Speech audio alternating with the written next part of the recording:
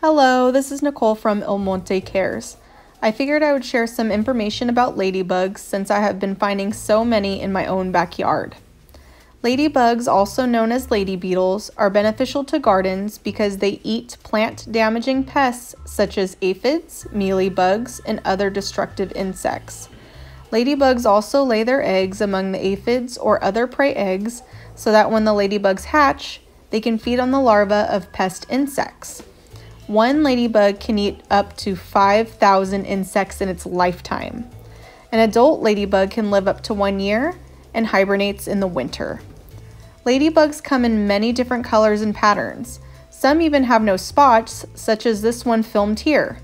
Not only do the bright red to orange colors deter prey from eating them, ladybugs also produce an oily, bad smelling fluid from joints in their legs and play dead. Birds are the main prey for ladybugs, but they are also consumed by frogs, spiders, wasps, and dragonflies. Ladybugs are considered good luck in many different cultures. I hope you enjoyed this short informational video on ladybugs. Please stay tuned for more information about other insects we can find in our own garden or backyards. Thank you and bye bye for now.